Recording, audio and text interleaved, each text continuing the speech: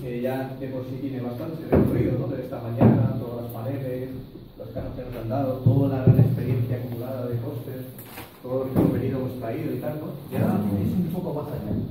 Un poco más allá significa que tenemos que ir más allá de lo que traemos y lo que hemos escuchado. Y para eso hay que ir más allá. Más allá significa entrar en dinámica un poco más.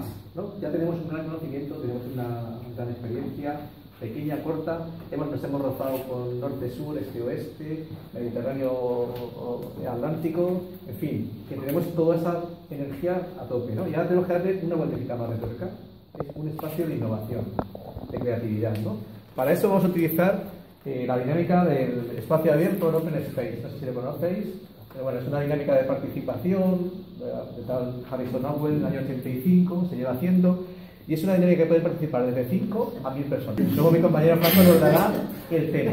¿vale? El tema está claro porque está en el, en el Symposium, ¿no? pero yo lo que quiero es que entendamos bien la dinámica. Es muy importante que entender la dinámica. Tan importante es tener la dinámica porque a veces el tema no importa, el tema puede cambiar según sea la dinámica. Lo importante es que todos los que participemos sea dinámico, sea divertido, que lo pasemos bien y tal. Unas cuantas claves que son importantes. Como cuatro principios y una ley. ¿vale? El primer principio de todo esto es que cualquier persona que llegue es bien recibida. vamos a trabajar en un espacio abierto. Un espacio abierto significa que aquí no hay guion. Va a haber pequeñas reuniones, vamos a organizar pequeñas reuniones, ahora veis un poco el proceso, pero todas las reuniones van a ser como tengan que ser. ¿vale? Va a suceder lo que tenga que suceder. Puede suceder algo, puede suceder nada y no pasa nada. Es el momento, es el, nos hemos juntado todo aquí y lo que tenga que pasar va a pasar, ¿no? Y no nos tenemos que preocuparnos demasiado si no hemos cumplido ningún guion. no hay modelos. No hay modelos. Hay que relajarse. Forma parte de eso, ¿no? Otra cosa, cuando se empieza, se empieza. Y si no se empieza, pues no se empieza. Tenemos un tiempo, a las ocho y media hemos terminado. Entonces, el reloj no puede, no puede constreñirnos. ¿no? Esto es un, el reloj no lo puede aprisionar. En este momento nos vamos a dar un espacio, ya hemos ido hasta aquí, no podemos estar bien por el tiempo ya. Ya no igual, estamos aquí ya, pues hasta las ocho y media y se acabó. Con lo cual no nos puede inhibir la creatividad, ¿no? Tenemos que ser básicos con esto, ¿no? Y cuando se termina, se ha terminado. Hasta aquí ha sido el proceso, le hemos dado un poco el ritmo que hemos podido y ya está. Una ley que es fundamental y que todo el mundo debéis entender que esto es fundamental y muy importante casi para aplicarlo a, a la vida, ¿no? Uno, se llama la ley de los dos pies. ¿vale? ¿Qué significa la ley de los dos pies? Que somos libres como la naturaleza somos libres. Entonces hay reuniones, yo llego a la reunión y si alguien llega a la reunión, se sienta hasta un rato y luego se va, pues no pasa nada. Forma parte de la vida. Alguien llega a la reunión, escucha, no sé qué, no ve que no puede aportar nada. nadie pasa nada, se levanta, se va a otra reunión, lo que sea. Y eso no nos tiene que afectar a que hemos montado la reunión, ¿vale? Eso significa que cualquier persona tiene la libertad de moverse de un grupo a otro en cualquier momento del evento. Y si alguien está en ese grupo y donde no encuentra la posibilidad de aprender o contribuir, se puede levantar. Básicamente, uno, estar preparados para la sorpresa, ¿vale? No tengáis condicionantes. Cualquier persona que participe es la que tiene que participar, porque ha sido así. No, hay, no hay estereotipo, la participación es voluntaria, por supuesto. Se comienza cuando se comienza, se termina cuando se termina, pasa lo que pasa, y esto es lo que hay, ¿no? Dejar subir vuestras expectativas y dejaros llevar, ¿no? Por supuesto, no os aburráis, Vamos a intentar ir un poco más allá, intentar un poco trabajar en eso, ¿no? Y cuando se acaba, pues se acabó. Tenemos tres etapas, ¿vale? Tenemos tres etapas y tenemos que llegar a un recorrido, ¿vale? Ahora voy a decir recorrido. ¿Qué es la agenda? ¿Y qué es de lo que vamos a trabajar, ¿no? ¿Vale? Cualquier persona puede proponer una reunión. Espero que haya muchas reuniones. Y no creo que os tengan que recordar de todo lo que hemos hablado. Hemos hablado de mogollón de cosas hemos hablado de todo, ¿no? No voy a hacer aquí una, recopilación de lo social, lo ambiental, lo carbónico, lo no carbónico, en fin, hemos tocado muchos palos de toda esta cuestión, ¿no? Entonces, ¿qué es importante? Que cualquiera de vosotros ahora cuando pues, digamos el tema, que es un poco el, tema del simposio, cualquiera diga, no, yo quiero hablar de esto. Dentro de lo que vamos a trabajar, quiero hablar de esto. Uno se levanta y digo, yo propongo esta reunión con esta reunión, apuntar esto, lo ponemos aquí y se irá a un espacio de la sala. Tenemos, vez que haya reuniones, ponemos el nombre de la reunión y ponemos el tema y ya diremos lo que hacemos en cada reunión, ¿vale? Entonces, la agenda la vamos a construir ahora. ¿Qué vamos a trabajar en las reuniones? ¿no? Por unos tiempos más o menos limitados. Tenemos cuatro caminos, ¿vale? Uno, el terreno. Vamos a trabajar la temática. La temática, claro, va, va a surgir con la agenda. Es decir, si yo voy a hablar, por ejemplo, de tema escolar, agroecología y huertos escolares, de terreno, lo vamos a trabajar con la temática. Es decir, aquí pondremos luego de qué temas hemos hablado. ¿Vale? Haremos como una gran matriz de qué temas hemos hablado. Luego, vamos a trabajar la cosecha. Es decir, qué nos llevamos de la reunión, qué ideas, qué experiencias de esas temáticas nos hemos llevado. ¿Vale? Nos vamos a llevar luego las semillas. ¿Qué nos ha faltado? No nos ha dado tiempo. Tenemos que haber hecho esto, esto, esto. Bueno, son semillas para otra reunión, otro postre para otro simposio, en fin. ¿Qué semillas nos han faltado? ¿Vale? Y lo más importante de todo es qué platos vamos a elaborar, qué menús vamos a elaborar, qué propuestas concretas vamos a llevar a lo que es el objetivo del simposio. Sería cómo hacer que la agroecología contribuya a la creación de empleo. Bueno, el, simposio se llama Tercer Simposio Ibérico de Ecología y Municipalismo. Eh, el año pasado y el anterior estuvimos dando vueltas a cómo hacerlo enfocado al desarrollo rural, hacer lobby, presión y experimentos para que se transfirieran las políticas de desarrollo rural con recursos del FEAD, el Fondo Europeo de Desarrollo Rural. Y en este año, como ya ha pasado el tema de los PDRs, hay otro tema pendiente, otra posibilidad, que es que lo hagamos con enfoque de empleo, con enfoque de fondos europeos y las concejalías o las consejerías de empleo. Estáis acostumbrados los que tengáis relación con el empleo que se hable de políticas activas de empleo, ¿verdad? ¿Mm? Es la, el viejo formato de las políticas de empleo. Políticas activas de empleo es contrato a un orientador, le tengo en un despacho y espero que vengan los desempleados para que le diga dónde tiene que ir, le hago la oferta formativa que tiene la consejería. Más de lo mismo con un impacto muy limitado. Aquí la primera innovación es hablar de políticas dinámicas de empleo. Aquí se trata de que las cosas tienen que moverse. Los que vengáis de la biodinámica, se trata de meter dinamizadores que sean capaces de, que circule la, vida dentro del sistema. Eh, creatividad. ¿Qué cosas realmente nuevas creéis que podríamos proponer y reflexionar los diferentes grupos? Cualquiera de vosotros ahora mismo podéis decir, pues a mí se me ocurre esta bomberada. La ponéis en el suelo, te sientas en una de las esquinas y empiezas a debatirlo con la gente que vaya. Estamos acostumbrados a que se haga innovación y desarrollo desde las farmacéuticas, desde las grandes empresas químicas, de la automoción, pero no tenemos innovación en las políticas públicas y lo público se está quedando cojo. Este es un panel para que diseñemos de modo dinámico políticas públicas de empleo para el próximo periodo hasta donde seamos capaces en esta hora y media. Estos, en estos proyectos agroecológicos, eh, la relación entre la administración y, y las comunidades, ¿no? entre la, la ciudadanía o, o, o, los vecinos de, de, de, los municipios donde trabajamos y la administración, eh, yo creo que tenemos el reto, y, y creo que lo hemos compartido en algún momento, de sellar o sea, de, de, pasar de la participación al compromiso. Y no solamente de la participación de los vecinos, sino de la participación de la administración. Eh, yo otra idea que tenía es que, por ejemplo, que, que los técnicos, me refiero, por ejemplo, a, a, los técnicos, no hay en todos los lados, pero en las escuelas de ITA, por ejemplo, que los estamos viendo como técnicos, también, si nosotros fuéramos capaces de acercarlos a esa gente que tiene formación a nuestras escuelas, a nuestros proyectos y participaran, eh, creo que, que, que, se podía trabajar a través de convenios la posibilidad de que, de que esos mismos técnicos dejaran de ser asesores y, y, vieran una salida profesional como agricultores, agricultores ya que vienen con una formación y que podían ser lanzaderas de alguna forma o gente que pudiera arrastrar a, a, a la población. Este cuadro tan precioso, esto es Cantabria. ¿no? Y aquí no hay una sola persona. No hay un solo Porque hay un cultivo, oso. por eso está precioso. No hay un solo cultivo, por eso está precioso. Precioso de oso o precioso de bonito. Entonces, que hagamos autocrítica de la educación ambiental tradicional, que yo creo que ha hecho mucho daño y que ahora tenemos que romper ese modelo. El campo es esto, lo hemos vendido durante mucho tiempo, pero el campo es otra cosa. Los que estamos en los entornos rurales lo sabemos y lo conocemos. Entonces, hace falta muchísima educación para romper este modelo y también tener muy claro qué es lo que queremos proponer como alternativa.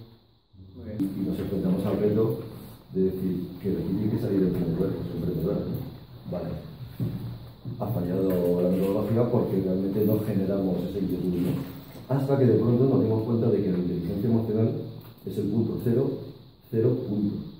Empezamos a trabajar no por el plan de viabilidad, no por la idea oportuna, no por la búsqueda de mercados, no por el valor añadido. Empezamos a trabajar desde la persona. Y ahora hemos puesto el punto cero ahí. Entonces a mí me parecería que sería interesante como crear una batería de materiales donde todos pudiéramos compilar información sobre agroecología, sobre si yo me quiero formar y quiero emprender y tener un autoempleo con esto, ¿no? Pues qué tipo de documentación necesito y no solamente la parte formativa, sino también a dar el salto, formarte, pero además eh, la parte de cooperativismo, la parte de emprendimiento. Entonces, que bueno, pues no sé, algún tipo de movimiento donde pudiéramos acumular todo el conocimiento y que la gente que quiera emprender en el sector pues pueda dar un salto de una forma más, más dinámica. Eh, como una forma de, de crear, crear el, mejorar un poco y, y, valorizar el, el, empleo que yo creo que todavía está escondido, que es el, el empleo eh, de los artesanos, que muchos de ellos todavía bueno, pues no, no tienen ese, esa posibilidad de trabajar de algo que realmente es un poco una eh, que parte de la identidad de nuestros pueblos. Yo creo que gran parte del problema rural es que eh, está pensado desde el medio urbano, que son dos mundos distintos y que la población rural pues mmm, ve como las políticas se le imponen, a veces se les ha impuesto llenarlo de pinos, a veces se les ha impuesto salir porque es un parque nacional y no son partícipes de ello ni creen en ello. ¿Cómo tratar de igual a igual estos dos grupos? Y que participen en el diseño de las políticas, los que son sus derechos. Acabar con los políticos, eh, no con los que hay aquí, hacer consejos, hacer consejos abiertos para empezar a funcionar como individuo. El resto. como nuestro proyecto en común, que tiene muchas deficiencias en financiación. Que se formule un protocolo participativo para la formulación de proyectos agroecológicos con el fin de que participen más personas en formulación, implementación y seguimiento de los proyectos. Pero el empleo sería eso, en trabajar para hacer el protocolo. Eh, ya que hablamos tanto de generar empleo, pero estamos siempre en encuentros de agroecología, ¿por qué no hacemos espacios en los que nosotros vayamos a visitar las zonas pilotos, dejemos dinero en las zonas donde vamos a visitar, por lo tanto contribuimos a generar empleo? Yo le he puesto turismo y agroecología. Hemos estado hablando de algo de tierra. Eh, la mayor dificultad que tienen los eh, municipios que no tienen tierra propia, que no tienen suelo eh, municipal, es cómo generar ese banco de tierra. Entonces, políticas de uso del suelo para generación de bancos de tierra. Cómo hacer que, que aquellos que tengan parcelas incultas o improductivas puedan cederlas de manera que el ayuntamiento pueda utilizarla para uso, uso productivo y, comunitario. La agroecología bueno, no solo cultivar y ya está, sino que implica muchas muchas otras cosas, ¿no? Implica, por ejemplo, eh, gasto de energía, eh, compostaje, banco de tierra, formación, financiación, por ejemplo, a través de monedas sociales. Es decir, que a un mundo. Si, eh, con visión holística se puede, hay muchas cosas auxiliares de la labor agroecológica que podrían convertirse en empleo. Es verla en red. Nichos de empleo auxiliares, complementarios de la agroecología. Los ganaderos nos sueltan la tierra. La PAC está atando la tierra a modelos antiguos. ¿Cómo conseguir que se suelte tierra? Otra, nuevas ayudas más inteligentes o bien cómo flexibilizar las ayudas que ya existen.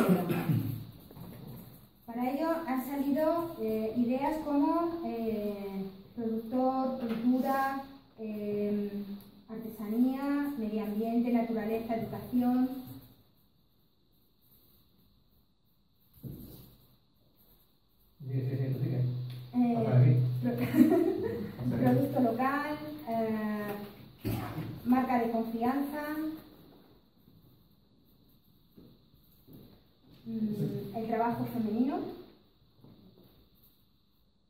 y sobre todo el turista y el consumo de, todo, eh, de todos los recursos y productos que sean en, la tierra. Nosotros venimos de la tierra, venimos con mis compañeras, llevamos cinco meses en la tierra. Yo lo que pretendo es.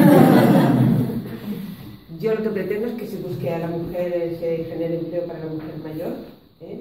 Sobre todo porque es una mujer que va a ir a la tierra con sentimiento, así la va a tratar y lo va a transmitir. Entonces, en el momento que tú te vas a dar vueltas a la tierra y, y vuelves a la agroecología así, pues te olvidas de las pastillas, te olvidas de la depresión, no vuelves al médico, ves a la gente con alegría, te presentas a, a- a la televisión y hablas a la televisión. hemos visto, ¿no? que hemos eh, puesto en el terreno y que hemos cosechado, vemos que es muy importante estudiar y hacer estrategias para que todo este producto que tenemos sea atractivo, tanto para el productor, para que lo sepa vender, como para el consumidor, el turista, que lo sepa, que quiera eh, comprarlo. Entonces nos faltan estrategias de venta, entonces nos faltan unos planes estratégicos de marketing y de venta del producto.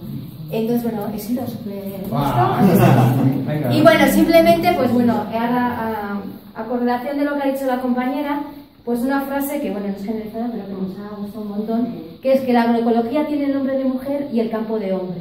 Y en esa frase se refleja la sensibilidad de la mujer, pues en este caso de la compañera. Estrategias para unir, lógicamente, desde la tierra, que ella dijo, usted está dicho una frase muy bonita, Inés, ella dice, yo me quiero llevar a la gente a la tierra. Y es que es la esencia. Entonces, tenemos que llevar el turismo a la tierra. Esta mañana nos ha faltado comprar directamente a Isidro algo en la huerta. Entonces, redondeamos lo que venimos haciendo directamente nosotros.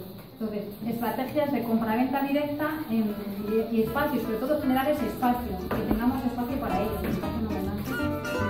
Ese espacio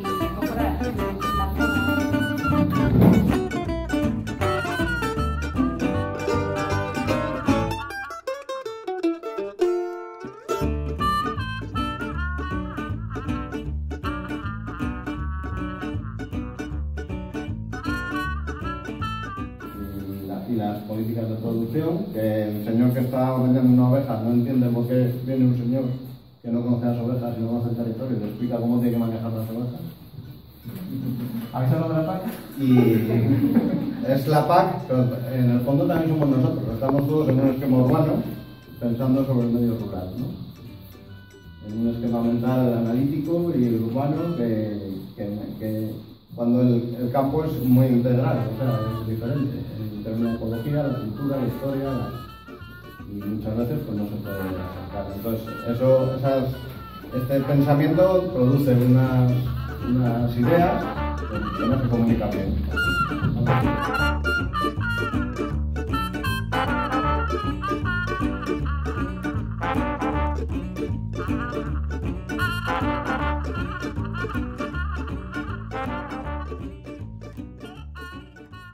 Bueno, sobre todo eh, para mejorar la comunicación hemos pensado que lo mejor es que lo que ya se está produciendo, que el, medio rural produzca servicios directos que a ciudadanos del medio urbano, como son las cestas que se reparten, como son meter el huerto en la ciudad, que como también hemos hablado de alguna iniciativa que hay por la que los consumidores van a trabajar el campo, no de un grupo de consumo, por lo menos un fin de semana al mes o dos fines de semana al mes, entonces ellos se ponen en el papel del, del productor y, y es más fácil entenderse unos a otros.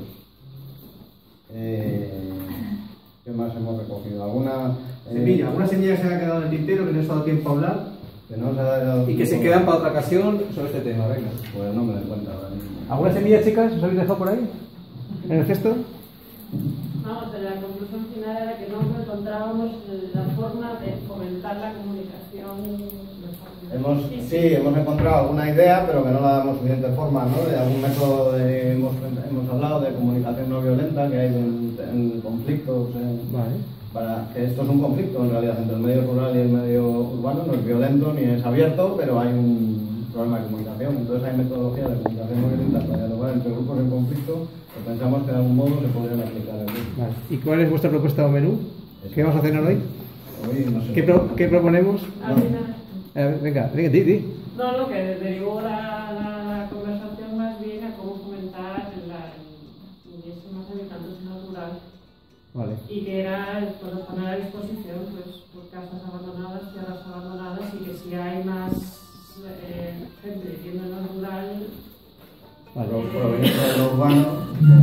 sí, que ya no se veía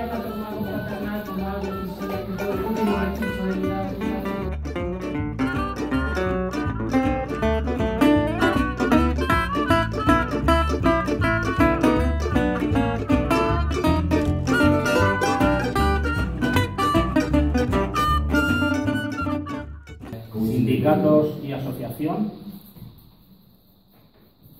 Puedes hablar mientras escribe, ¿eh? y el, el coaching emprendedor. Venga. Cosecha. Cosecha, venga. Cosecha mantener, intentar mantener la autonomía dentro del entorno de la red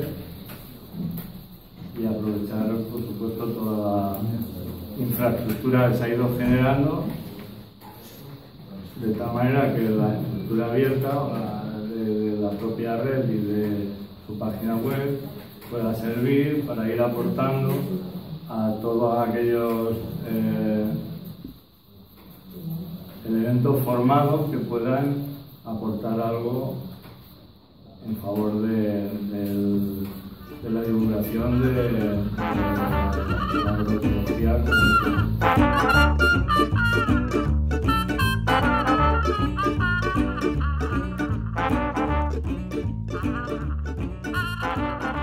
Más que... Está apagada la cámara, está la cámara, que no más que cosas que se nos han quedado en el tintero, hemos hecho una interpretación un poco de qué problemáticas hay para conseguir eso.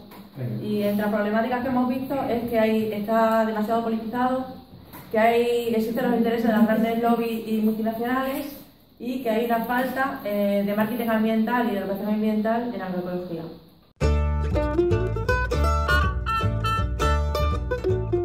Pues teníamos como cuatro ideas de propuestas para. Venga, va. La primera, el reconocimiento eh, mayor del papel de Dilas como agente al que acudir cuando una persona se tiene que situar en el terreno. Cuando llega una- un actor nuevo y quiere ver cómo meterse en agroecología, que te sepan de derivar y decirte, mira, esta es el Dilas, esta es la persona a la que tienes que acudir, ¿no? Ah, como segundo punto, crear convenios de colaboración entre escuelas agrarias y centros universitarios y de investigación. Eh, pues, por ejemplo, para temas de mentorías estábamos comentando, a lo mejor quieres hablar con un ITA o con un no, acercarte un poco y al mismo tiempo la gente que se ha formado en la universidad muchas veces les falta totalmente el contacto con la tierra, entonces buscar una interacción entre, entre ambos. El tercero, implicar más a los grupos de acción local y dar más a conocer el papel que hacen y no solamente en términos de tramitar, sino verdaderamente implicarlos en, en la- el fomento de empleo agroecológico a los grupos de acción local, a los GAL. Eh, la creación de bancos de materiales, herramientas, dinámicas, pues por ejemplo, Manuel que pueda meter este tipo de dinámicas cuando llegamos a lo mejor nosotros eh, a los a los municipios de la red de RAE saber qué dinámica hacer con la gente, o dinámicas de escucha activa, o pues tener materiales de agroecología si tienes que ir a un instituto a hablar sobre el tema, ¿no? O sea, tener como una biblioteca eh, de materiales y un poco contar con asesoramiento.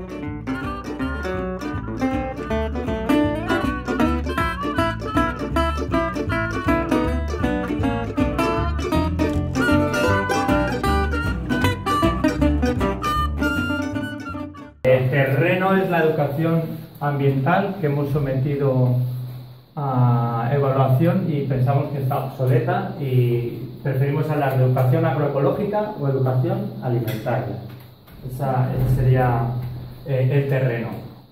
En la cosecha, pues para hablar de educación alimentaria y agroecológica, eh, aprovechar, ya que estamos en una red de municipios, la competencia municipal eh, que podemos tener los ayuntamientos en los comedores escolares, en el cuidado de esos comedores escolares. si no entra en el programa educativo de centro eh, la, educación agroecológica, aprovechémoslo y hagámoslo desde el espacio que nos ofrecen, ese, ese espacio donde los profesores, están con, eh, con monitores y ahí que donde tenemos competencia, hablemos de educación alimentaria y agroecológica. Eh, semillas, pues una semilla importante sería eh, formar eh, educadores agro- y, o alimentarios para trabajar en las grandes superficies. Creemos que se abre un campo de trabajo importante para todos nosotros. Eh, en los supermercados es una figura que no existe, entonces poder estar en los lineales hablando y educando al consumidor, al comprador, sobre el, el producto que se llevan y luego sobre algo muy importante que hemos traducido luego en un plato y es, eh, lo pongo ahora, alimentar a la tierra que nos alimenta, es decir, compostaje. Educarles para cómo gestionar el bioresiduo, eh, que es un producto que están comprando y luego se va a transformar en un bioresiduo. Entonces estaríamos, bueno, todos los ayuntamientos nos tenían que contactar porque se van a tasa de basura un montón de, de pasta si lo hacemos bien y educamos bien. Vale, eh, no, está aquí, perdón. Alimentar a la tierra que nos alimenta. Eh, no, tenemos más. Eh, semillas. Formar a los productores como educadores. Todos los productores ecológicos son los primeros defensores de su producto, de por qué, de las ventajas que tiene, etc. Entonces, no solo se nos tiene que formar en, agroecología, sino eh, como educadores, para luego poder trasladar y comunicar los valores de esos productos que, estamos elaborando. Esa sería una semilla, una asignatura pendiente de la red. La otra semilla es eh, desarrollar el discurso educativo desde la pirámide de los alimentos, en lugar del eh, concepto tradicional de la pirámide ecológica o trófica. Trabajemos desde la pirámide de los alimentos. ¿vale? Y aquí hablamos eh, como plato, el proyecto se llamaría del plato al campo. Trabajaríamos sobre la centralidad de los alimentos en los comedores escolares, como primer espacio abierto por la red eh, dentro de esa competencia municipal, y trabajaríamos con los escolares en ese espacio con los alimentos que forman su plato. Ya no dependeríamos de tener un huerto en el colegio o tener una parcela cercana o que su eh, eh, comedor o su centro escolar estuviera próximo a una zona eh, hortícola, sino que directamente, comedores escolares en todos los coles hay, pues abordémoslo desde allí, aprovechemos ese espacio y empecemos a educar eh, en agroecología y en eh, hacer educación alimentaria desde ese espacio.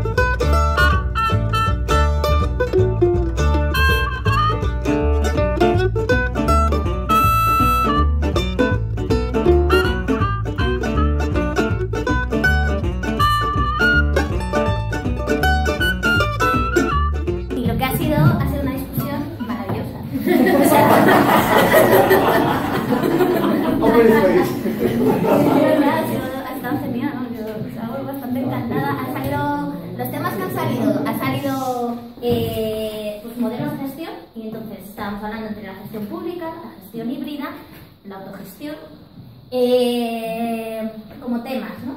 Pero sobre todo lo que nos preocupaba era una cuestión de la permanencia de los proyectos agroecológicos con los que estamos ahora. O sea, pensando en políticas de empleo y pensando en, en un poco lo que es la inmediata. ¿Qué pasa eh, con, con, bueno, con los municipios de la red terraria o con los proyectos de agroecología, de emprendimiento de empleo, cuando se empiezan a caer? ¿no? ¿Cómo hacer para que los proyectos no se caigan? Y decíamos, ¿por qué se caen? Y se caen por falta de recursos, se caen por mm, falta de compromiso de la administración, se caen por falta de compromiso de la gente y esa frase maravillosa de se caen cuando la gente deja de creer. ¿no? es algo, ¿no? Y entonces estábamos pensando cómo, o sea, lo que hacía falta era una amalgama, un pegamento, cómo hacemos para que las cosas no se caigan. Eh, esos han sido un poco los temas, ¿no? Luego, pues, como para ordenar un poco todo esto. Eh, la semilla, o sea, lo que nos ha faltado es formular un modelo concreto.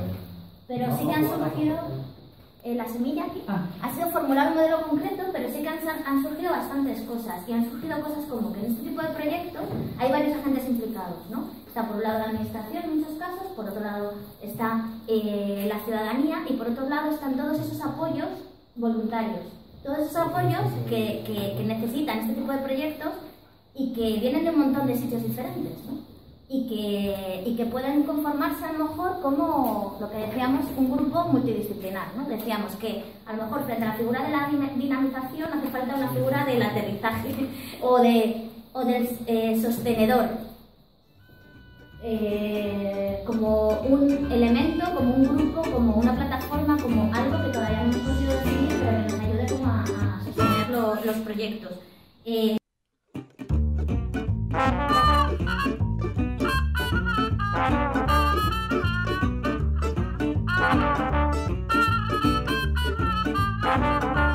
Sí, eh, vale, formulado es como un grupo, un grupo multidisciplinar con diferentes profesionales que podría operar como cooperativa transversal. No voy a entenderlo. ¿Eh?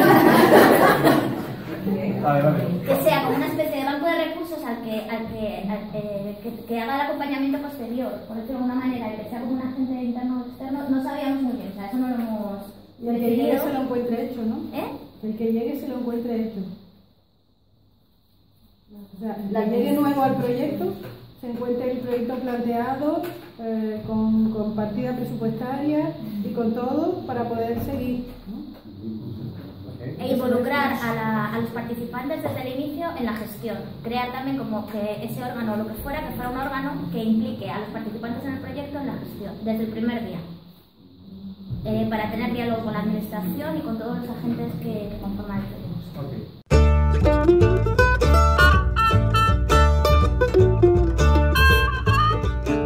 Hemos tocado con un problema hueso, ¿no? Con un tema hueso, porque el tema de la tierra, eh, en este momento para que se desarrollen todos estos proyectos se necesita suelo. Si un municipio o un proyecto de esto no tiene suelo, no se puede desarrollar. Por lo tanto, había que buscar la forma de eh, obtener ese suelo. Y en principio lo que teníamos pensado, lo que hemos pensado es que lo que hace falta en principio es tener un, eh, un registro parcelario de toda el área productiva. ¿no? Eso sería lo primero y esencial. ¿no? En segundo lugar, tendríamos que tener también un registro de aquellos interesados que estuvieran eh, o que quisieran presentar un proyecto para desarrollo agrario. ¿no? Entonces, bueno, pues eh, ¿Cómo aquí tocamos con el tema de la propiedad? La propiedad del suelo es sumamente importante. La ley del suelo es eh, una ley estatal, no, a nivel autonómico y a nivel local no tenemos competencia, por lo tanto, la ley del suelo hay que ir al Estado a ver qué pasa con la ley del suelo, ¿no? ¿Cómo, cómo modificar esa ley del suelo para poder al final tener opción a llegar a obtener parcelas no de forma de- con propiedad, sino simplemente para el uso. ¿no? Entonces, bueno, pues el tema de, de modificar la ley sería un problema importante, ¿no? Cómo ver, ver cómo influir para que los- las leyes a nivel nacional se pudieran. Luego, estudiar otros sistemas como el sistema francés, que hemos dicho que, eh, digamos, incentiva lo social frente a lo privado.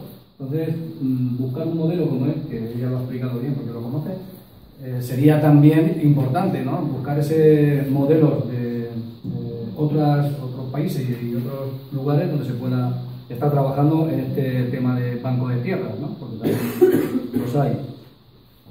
Y luego, pues en el tema de Sevilla, pues eh, habríamos puesto cómo incentivar, incentivar a los propietarios para que eh, vean que no hay riesgo a la hora de ofrecer las parcelas, o ceder las parcelas, y, o también poner tasas impositivas para aquellas parcelas que, que estén, por ejemplo, yo que sé, mucho tiempo improductivas y que no tienen uso. Entonces, habría que ver si, o por una parte, por la parte del incentivo, o por la parte del castigo, ¿no? una tasa, o, pues se puede obtener esa cantidad de suelo que es necesario.